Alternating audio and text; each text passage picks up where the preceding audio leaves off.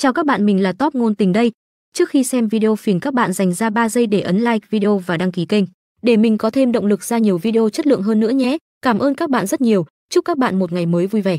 Đoạn đầu cuốn truyện phàm nữ đa tình bốn vị đại hiệp ta đều tốt, nói về cuộc sống thanh xuân vườn trường ngây thơ e ấp của nữ chính Liễu Thương Tuyết công lực bốn vị nam chính, mà đoạn giữa là giáo chủ Hồng Trì thông qua cổ độc, từng người, lại từng người, cướp toàn bộ nam nhân tử trong tay nữ chính, biến học thành nô lệ của mình. Đương nhiên nữ chính cũng phát hiện điểm bất thường, nhưng cô ấy kiên định tin tưởng vào tương lai tốt đẹp mà mình dự đoán được.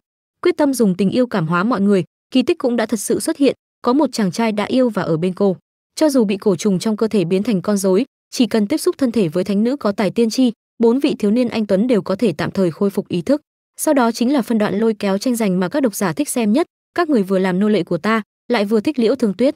Bốn người trụng đầu nghe bạch hiểu trì kể, tư đồ diệu bắt đầu ra vẻ hiểu biết, đưa ra phán đoán, nghĩa là tiếp đến sẽ là phân đoạn của hai chúng ta sao? Hồng chi sẽ thao túng ta ở bên suối nước nóng, để ta làm chó của cô ấy. Tư đồ diệu phấn khích vô cùng. Anh thầm nghĩ, sao lại thấy hưng phấn thế này, mặc cho mọi người xung quanh đang nhìn anh với ánh mắt như đang nhìn rác rưởi. Khi không lại thích đi làm chó, bạch hiểu chỉ nói tiếp, tuy không muốn thừa nhận, nhưng sợ là có thật. Liễu thương tuyết ôm đầu, tối sầm mặt. Thật đáng sợ, một khi cốt truyện không thể thay đổi mình sẽ phải thế này thế kia với đàn ông, sẽ sụp đổ. Nhất định mình mình sẽ sụp đổ, hiểu trì nghiêm túc nói, nhưng đây vẫn chưa phải chuyện nghiêm trọng nhất nửa phần sau của manhua sẽ kế thừa lý luận cuối chuyện sẽ xảy ra chuyện cực lớn của các tác phẩm văn học trong cuộc chiến tranh đoạt đàn ông. Cổ trung của hồng giáo chủ thắng trận đầu. Vì vậy, boss phản diện sau khi đạt được mục đích sẽ không cần phải ở lại thư viện nhỏ bé này nữa. Nên âm thầm đưa bốn vị nam chính đã bị tẩy não trở về ma giáo. Khi đó liễu thương tuyết cuối cùng mới nghĩ ra mình có thể cầu sự giúp đỡ từ trưởng giáo. Sau khi biết thư viện lực bất tòng tâm, liền gửi thư đem chuyện này báo cho triều đình và tam đại gia tộc giang hồ. Nhạc thanh phong nói nét mặt nhắc tới còn lo sợ, còn dây dưa đến, các trưởng bối sao? Liễu thương tuyết đáp cho nên cuối cùng mới có hành động vây giết ma giáo. Tiếp tục trở lại câu chuyện, triều đình bắt tay với võ lâm bao vây hồng uyên giáo, thề phải diệt trừ yêu nữ.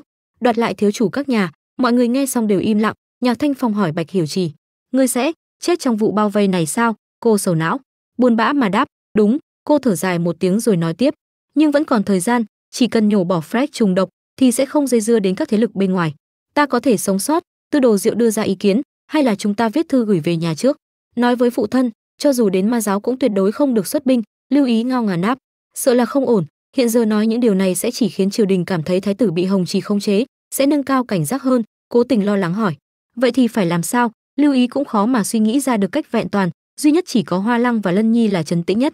Hoa lăng nói, ừm, ta cũng cho rằng tạm thời không nên đánh rắn động cỏ thì hơn.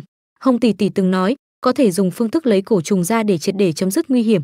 Vậy lân huynh, vì sao không thử xem? Lân nhi nghe xong mặt mày xám xịt ánh mắt như sát thủ nhìn hoa lăng bạch hiểu chỉ đưa tay lên. A à, cô nói lúc không khống chế trùng con đúng là hoàn toàn không thể nhìn ra có thứ gì ẩn dưới da. Lân nhi không nói gì. Lân sắc mặt ngươi không được tốt. Lân nhi đáp không sao. Anh nắm chặt thanh gươm trong tay chỉ là thần không chắc lát nữa có thành công lấy được cổ trùng ra không? Bạch hiểu chỉ cười khoái chí tỏ ra vui vẻ trấn an lân nhi. Hay ra ta không căng thẳng. Ngươi căng thẳng làm gì? Ngươi rất mạnh mẽ khiến thần ý thức rõ ràng. Sự yếu đuối của bản thân mình. Lân nhi nói chủ nhân cầu xin người một chuyện hiểu trí không hiểu nhìn anh. Cái gì? Anh nhớ lúc trước cô từng nói một câu, chỉ một giây thôi. Xin người hãy khôi phục ý thức giống như lần trước. Anh nói, nếu không, với năng lực của thần, việc rạch đứt mu bàn tay của người có lẽ sẽ không đơn giản bằng việc chặt đứt bàn tay người. Bạch hiểu trì dương mắt nhìn lân nhi mà cảm thán, sau đó cô đáp ừ ta hiểu.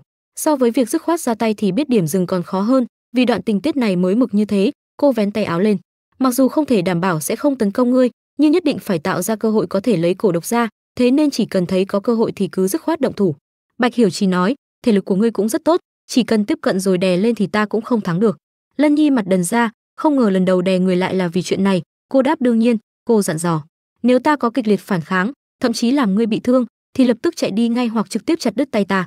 Đã vậy cô còn không quên uy hiếp anh, nhưng nếu sau đó đau quá thì ta nhất định sẽ mắng ngươi đó, khiến anh không biết làm sao mới vừa lòng. Anh cười vô cảm, dường như chủ nhân cũng có chút tin tưởng ta nhỉ, lại còn mắng người nữa hiểu trì chu mỏ, ngươi lại còn ra vẻ xa lạ, cô khó chịu. Có thể đừng gọi chủ nhân nữa được không? Dù đã sớm quen, nhưng nếu muốn ta tạo ra thay đổi, lân cũng nên tỏ chút thành ý chứ. Lân nhi cười cười đặt tay lên tim, tiểu nô vẫn luôn có thành ý mà, cực kỳ thích người nha. Đấy, lại xưng tiểu nô rồi, nói thật đó. Nếu là lúc bình thường, ta sẽ không để ý người khác đối với ta có hảo cảm hay không, nhưng đối với lân nhi thì lại luôn cảm thấy có gì đó không đúng. Anh khó hiểu. Hả? Hiểu Trì quay mặt lại làm duyên cười. À cũng có khả năng là vấn đề của ta có nhiều khi cảm thấy ta và ngươi rất thân mật nhưng có lúc lại cảm thấy lân nhi cũng không thật sự muốn có quan hệ thân mật với ai đó dường như đang sợ hãi điều gì. Anh đứng trơ ra nhìn Bạch Hiểu Trì, anh ngơ ngác đáp, "Hả? Ta, sợ hãi?" Lân Nhi không dám nhìn Bạch Hiểu Trì, cúi đầu nhìn đi chỗ khác. "Sao có thể chứ?" Anh nghẹn lời, đột nhiên có tiếng ai đó. "Này, hai người đã tới rồi à?" Tư Đồ rượu đi đến gãi đầu nói. "Ây, mặc thế này ra ngoài thật là có chút không quen, đoạn tình tiết hôm nay chỉ có mấy người chúng ta thôi sao?" Hiểu Trì đáp, "Ừ, bọn tiểu nhạc." Hoa Lăng cũng rất muốn giúp đỡ, cô vẫy vẫy tay, nhưng sợ bị ảnh hưởng của cổ độc làm cho tình tiết thêm hỗn loạn, nên đã bị Liễu Học kéo đi rồi, dù gì tiểu tử này đã bị hạ cổ độc rồi, nếu không cẩn thận bị khống chế, sẽ làm hại tới Lân. Tư Đồ Diệu đáp, cũng đúng, cô đưa ngón tay lên. Nhưng Liễu Học cũng chưa bỏ cuộc, đoạn chuyện này đều rõ rồi chứ, cô bắt đầu kể lại. Ban đầu Tư Đồ Diệu định hẹn nữ chính cùng ngâm nước nóng để gia tăng tình cảm, nhưng lại bị Hồng giáo chủ khống chế trước, thế là khi Liễu Thương Tuyết đến điểm hẹn, vì nhìn thấy cảnh tượng mờ ảo đó mà hiểu nhầm người mà Tư Đồ Diệu thích là Hồng Trì, từ đó nảy sinh hiểu lầm kinh điển của thiếu nữ truyện tranh, đau khổ rời đi. Lân Nhi đầy sát khí xung quanh, ta sẽ lấy cổ độc ra, kết thúc đoạn tình tiết này. Bạch Hiểu Trì nói, ừ ừ, đương nhiên nếu chưa làm được, Liễu Học cũng sẽ bảo Hoa Lăng trói mình lại, tuyệt đối không xen vào tình tiết. Cô tưởng tượng đến cảnh tượng Hoa Lăng cầm dây thừng trói Liễu Thương Tuyết, hay hình như có thứ gì đó nguy hiểm trong người bộc lộ ra rồi. Bạch Hiểu Trì thúc hủy tay vào người Tư Đồ Diệu, chuyện hôm nay có thể đảm bảo. Tiểu Diệu không cần lo lắng, anh nghe vậy quay tới quay lui chối. À, ta không thèm lo lắng, anh thì thầm, nói ra thì có chút thất vọng. Lân Nhi nhìn hai người cứ dẫn qua dẫn lại, có chút ghen trong người rồi, anh cúi mặt, thật khiến người ta khó chịu, bọn họ có vẻ rất thân mật. À, tại sao lại dùng từ này? Anh nhìn Tư Đồ Diệu ngồi dưới đất lấy đá ném ném, né né, dẫn với Hiểu Trì. Lân Nhi nghĩ, bị lời của Hồng Trì quấy nhiễu sao? Anh quay lưng đi, không gì có thể làm ta lay động được, ngay cả cái chết ta còn không sợ, sao có thể? Sợ hãi việc thân mật được, chuyện tranh phàm nữ đa tình, bốn vị đại hiệp ta đều muốn. Tư Đồ Diệu để hai tay sau đầu, Thương Tuyết sao lâu thế? Khó khăn lắm mới có thể vượt qua Nhạc Thanh Phong, được dùng suối nước nóng của học viện, anh thở dài, muốn cho cô ấy vui một chút, bỗng có tiếng gọi vang lên, "Tư Đồ công tử, là Bạch Hiểu Trì." Vẫn còn Vương vấn nha đầu đến muộn kia sao? Chi bằng cùng bản tọa vui đùa được không? Anh bất ngờ. Hồng Trì, anh bất ngờ, hét lớn, "Sao cô lại ở đây?" Hiểu Trì với nụ cười ma mị, "Ồ, bản tọa tại sao lại không thể?" Cô đưa bàn tay lại gần anh, "Ở đây chứ?" Lúc này cổ độc trong tay cô đỏ lên, có cổ độc trong người của Tư Đồ Diệu cũng lóe đỏ lên, Bạch Hiểu Trì tiến đến gần hỏi, "Bản tọa tại sao lại không thể ở đây nào?" Cổ trùng trong Tư Đồ Diệu phát tác khiến anh ấy đau đớn gục xuống, Bạch Hiểu Trì nói, "Thật là muốn xem bộ dạng tiểu thiếu gia kiêu ngạo hống hách biến thành hạ nhân đê tiện." Chính là lúc này bỗng nhiên có người tấn công, Bạch Hiểu Trì nhanh chóng tránh được tức giận hét kẻ nào, Lân Nhi tiếp tục vung dao tấn công. Bạch Hiểu Trì này, Tư Đồ Diệu nói ma giáo các ngươi đang làm gì đó, Lân Nhi đè Bạch Hiểu Trì xuống giữ chặt hai tay cô vung dao xuống. Bạch Hiểu Trì vẻ mặt thờ ơ a à thật là phiền phức, Lân Nhi sơ hở đâm trượt bị Bạch Hiểu Trì đánh một chưởng vào tay làm con dao rơi xuống, Bạch Hiểu chỉ cảm thán, đau quá nha, Lân ngươi muốn chống lại bản tọa sao? Tức giận tiến đến, chỉ là một con chó được bản tọa nhặt về nay lại có chủ mới rồi. Cô tát Lân Nhi xong lại hoảng hốt hỏi Lân không sao chứ, nhưng nhanh chóng thay đổi thái độ cười nham hiểm giơ chân đạp vào đầu Lân Nhi. Dù sao với bản tọa ngươi chỉ là thứ xúc vật dư thừa mà ta sớm nên loại bỏ mà thôi. Lân Nhi nhớ lại quá khứ bị Nhạc Thanh Phong chế giễu, ngươi chỉ là đồ dã trùng chỉ biết nịnh bợ có còn là nam nhân không? Khi bưng trà cho mẫu thân nghe được Nhạc Thanh Phong nói phu nhân Thanh Lâm là sai lầm tuổi trẻ của ta, xin lỗi ta rất hối hận. Khi đọc sách nghe mọi người bàn tán nghe nói hắn là con riêng của nhà họ Nhạc đấy, nhờ quan hệ mà được vào chứ thực chất không thuộc về nơi này, bị bạn bè xa lánh khinh thường.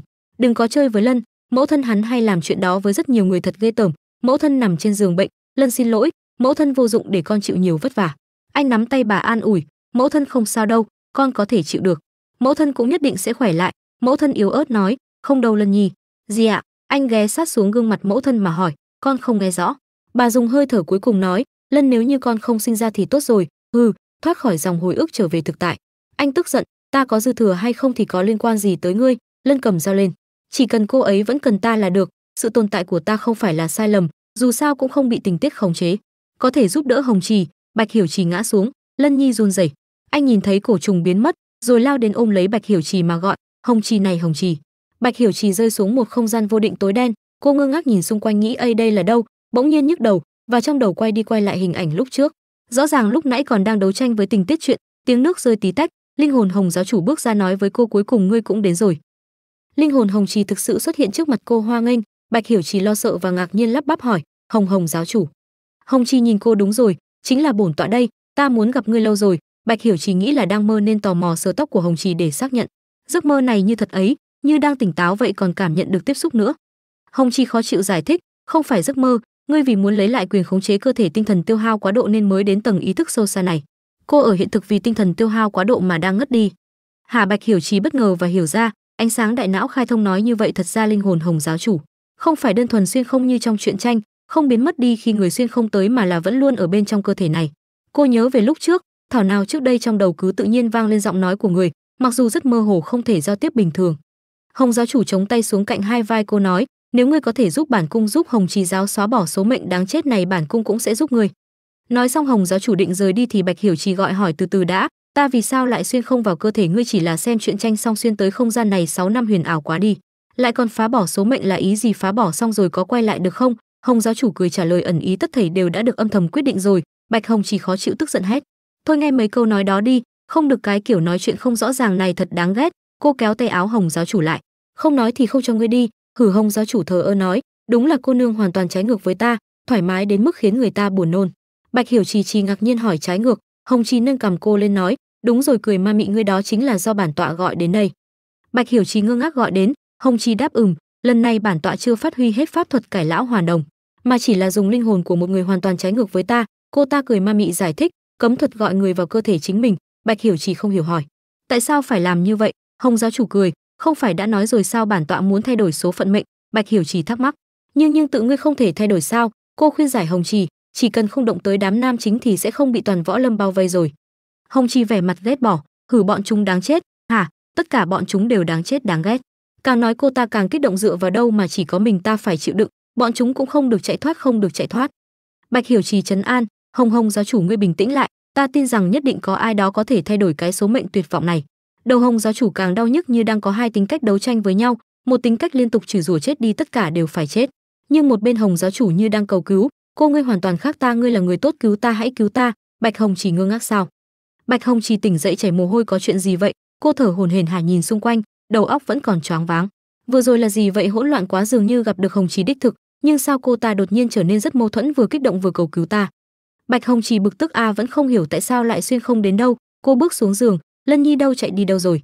Cô bước đi tìm vừa mới mơ một giấc mơ kỳ quái rất cần người thông minh giúp ta làm rồi. Ây ra bạch hồng trì giật mình. Cái gì thế này? Lân nhi đang ngồi ở một góc có vẻ đã ngồi rất lâu nên đã ngủ thiếp đi. Bạch hồng trì hỏi ngươi trốn ở đây làm gì thế? Lân nhi tỉnh dậy nhìn thấy cô. Hồng trì, này ngươi tỉnh rồi. Ngại quá ta vừa bần thần một chút.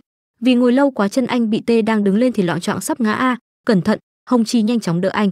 Cô vừa dìu anh đi vừa hỏi, sao lại chui vào chỗ đó suýt nữa là va vào ngươi rồi? Lân nhi yên lặng ánh mắt quan tâm nhìn hồng chi hỏi, chủ nhân người có chỗ nào thấy khó chịu không? Đột nhiên lại ngất đi, hồng chi nhớ lại khung cảnh vừa rồi đáp, không có chỉ là ý thức hình như đi tới một không gian khác, nhìn thấy chủ nhân đích thực của cơ thể này hình như rất đau khổ, hai người đi đến bàn ngồi.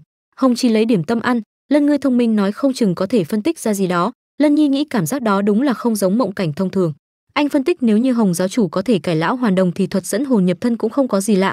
Hồng chi ngủ lâu quá nên rất đói, hai tay cầm bánh ăn rất ngon miệng. Vừa ăn vừa nói, đúng vậy nhưng lời lẽ của cô ta có gì đó không đúng, dường như biết rằng là mình sẽ chết. Một mặt muốn thay đổi số mệnh, một mặt lại không muốn thoát ly giang hồ. Căm hận điều gì đó mà không thể giải thoát được. Lân nhi chán nản. Xin lỗi hồng trì, không thể thành công lấy cổ độc ra. Hồng trì cầm cốc trà nhìn sang, không sao mà. Thấy lân nhi buồn rầu liền vỗ vai an ủi, ban đầu cũng không nghĩ làm một lần là được. Ta cũng thấy tài nghệ của lân nhi tiến bộ rồi. Lân nhi càng thất vọng quát, tiến bộ thì làm được gì? Thất bại rồi còn an ủi chỉ khiến ta cảm thấy nhục nhã. Hồng chi giật mình hả? Lân nhi nhận ra mình to tiếng quay mặt né tránh. Xin lỗi ta chỉ đang chút giận. Hồng chi nhẹ nhàng khuyên, đừng có thẳng thừng nói chút giận vậy chứ. Lân nhi tự trách, mặc dù biết chủ nhân và hồng trì trong chuyện không giống nhau, nhưng vẫn bị mấy lời đó tác động. Nhớ tới mấy chuyện vô vị, hồng trì thở dài, hãi, đã nói lúc đó chỉ đánh lộn thôi, sao ngươi lại cứ như thế? Bỗng nhiên nhớ lại cảnh tượng tối hôm đó, mới hiểu thì ra là thế. Xin lỗi ban đầu định giúp cô.